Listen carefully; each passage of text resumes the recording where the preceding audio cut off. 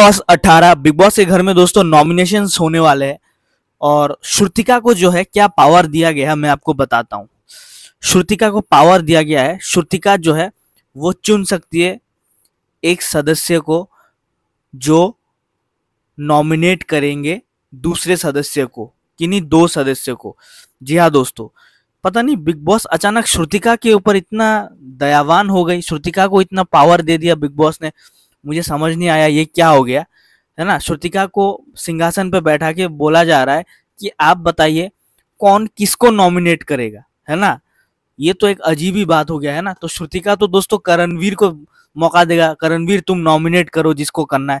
तो करणवीर ने अविनाश को नॉमिनेट किया है यहाँ पर है ना? तो यही तो है। कंट्रोल करेंगी आज के।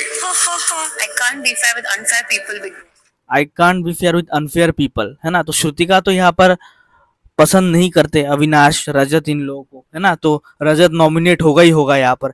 श्रुतिका जिसको जिसको पसंद नहीं करता है हाँ जिसको जिसको पसंद नहीं करते श्रुतिका, वो ही नॉमिनेट होंगे इस बार, मुझे ऐसा लग रहा है। जो अभी श्रुतिका को पावर दिया गया, श्रुतिका जो है, वो इंसान को चुनेगी जो नॉमिनेट करेगा। तो ये तो सिंपल है है ना? बिग बॉस मेरा पहला नाम है अविनाश है।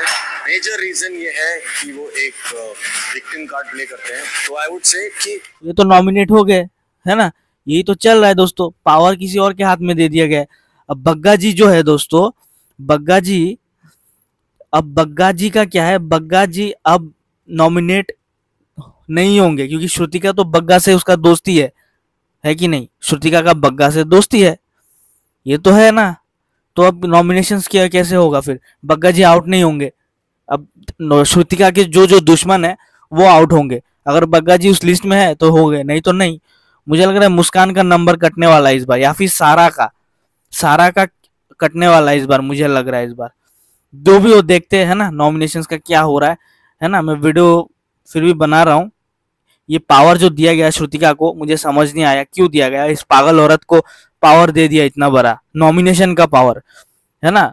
तो मुझे ये चीज़ समझ नहीं आ रहा है। चलिए, बाकी आगे मैं बनाऊँगा वीडियो चलिए थैंक यू भाई